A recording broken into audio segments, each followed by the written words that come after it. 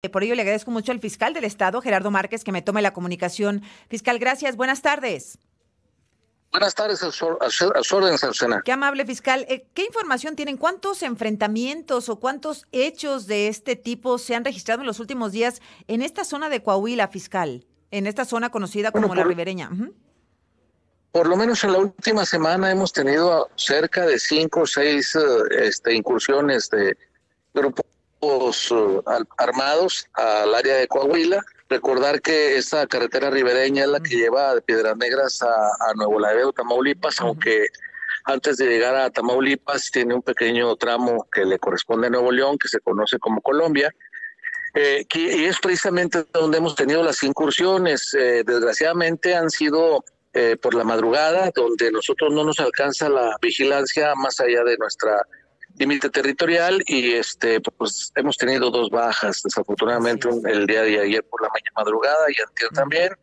eh, tenemos seis cuatro cinco este lesionados que están fuera de peligro sin embargo también hemos hecho alguna par de detenciones que nos pueden dar indicios de eh, la este, identificación del resto de los cuales responsables. Es evidente que se trata pues del grupo que hemos identificado siempre acá por el lado del noreste. El cártel del noreste, fiscal. Pues finalmente son las siglas que nosotros hemos advertido dentro de los este, eh, indicios como chalecos balísticos y algunas otras cosas. Entiendo que hay dos detenidos, dos personas detenidas identificadas con este cártel, relacionadas con este cártel. Por lo menos eh, como eh, hasta el momento como informantes, como lo que nosotros conocemos comúnmente como halcones. Esas dos personas detenidas, ¿y si les han dado información respecto a a estas incursiones? Es decir, ¿qué les han dicho estos detenidos? Estamos trabajando, estamos trabajando en la investigación, son los, las horas preliminares que tenemos nosotros, 48 horas para integrar la carpeta, y es el momento de la reserva precisamente de esta investigación. Sin embargo, este, tenemos uh, pues, indicios fuertes de, de cuál es la propuesta. Estas gentes han querido asentarse pues, en el territorio este, del, del norte de nuestro estado, donde eh, antaño pues eh, eh, hubo una serie de comisión de delitos de alto impacto como homicidios, secuestros, extorsiones, etcétera. Nosotros le hemos mantenido a la baja estos delitos y esa es la razón por la que fortalecemos la seguridad en torno a los niveles de gobierno. Estos sujetos, estos integrantes presuntamente del cártel del noreste, llegan a Coahuila, quieren invadir, digamos, territorio desde Tamaulipas.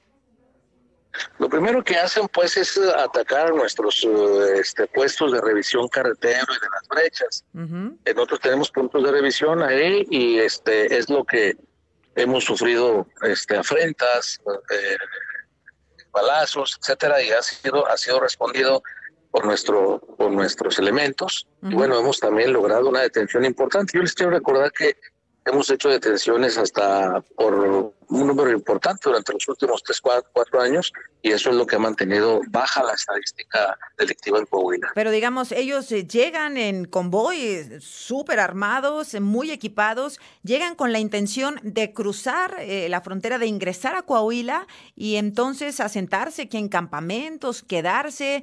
¿Cuál es la intención de, de esta afrenta directa contra el gobierno, contra las autoridades del Estado?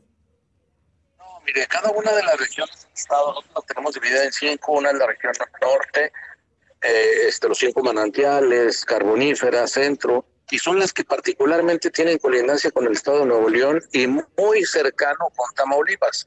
Entonces, en cada una de estas regiones hubo en su momento este, grupos uh, delincuenciales que eh, tenían controlado el tema de los narcóticos y de algunos otros delitos.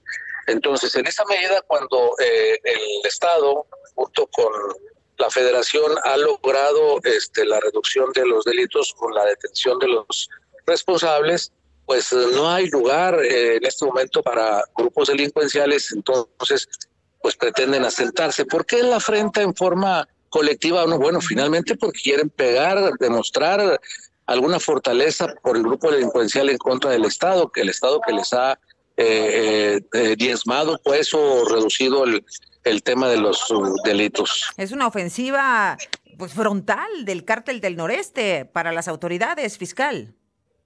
Pues debe ser así, pero le digo, tenemos una coordinación extraordinaria Es cierto que tuvimos algunas bajas, pero también es cierto que hemos mantenido eh, la seguridad. Esta coordinación que tenemos con los estados de Nuevo León y Tamaulipas desde el año 2019 a través de un convenio en donde las fiscalías, eh, la Secretaría de Seguridad Pública y las autoridades militares como Sedena y la propia Guardia Nacional hemos actuado en el límite precisamente de cada uno de los estados y hemos eh, efectuado la detención de los responsables en uno y otro estado con esas competencias que tienen las este, dependencias a las que he hecho alusión. Supongo que la recomendación para los ciudadanos es no transitar por esta zona o, o, qué hacen los ciudadanos. No, no, no. Realmente nosotros hemos dado alertas este, en los momentos en los que hemos detectado estas incursiones, como el día de ayer por la mañana, si dimos una alerta, dijimos procuren no transitar por esa vía porque en este momento nos encontramos en algunas operaciones